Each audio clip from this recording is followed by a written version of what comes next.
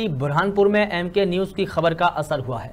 पिछले दिनों खकनार ब्लॉक की ग्राम पंचायत डोई फोड़िया के मीठाराम फालिया के ग्रामीणों ने बुनियादी सुविधाएँ नहीं मिलने से चुनाव के बहिष्कार की घोषणा की थी।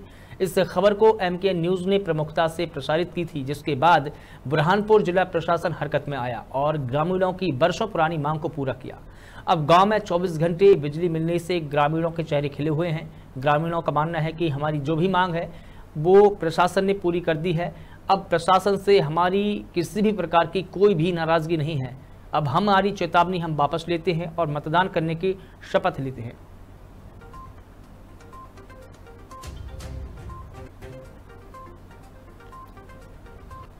ग्रामीण मिठाराम खलिया के निवासी है। और पिछले आठ साल से मतलब लगातार हम बिजली और पानी की सुविधा को लेकर कई अधिकारियों और अफसरों को अवगत करवाया था। तो इसको लेकर हमने चुनाव बहिष्कार की चेतावनी भी दी गई थी। तो यही चेतावनी हम वापस लेते हैं। हमारा वोट मतदान हम ज़रूर करेंगे। मेरा मेरा अधिकार मेरा वोट।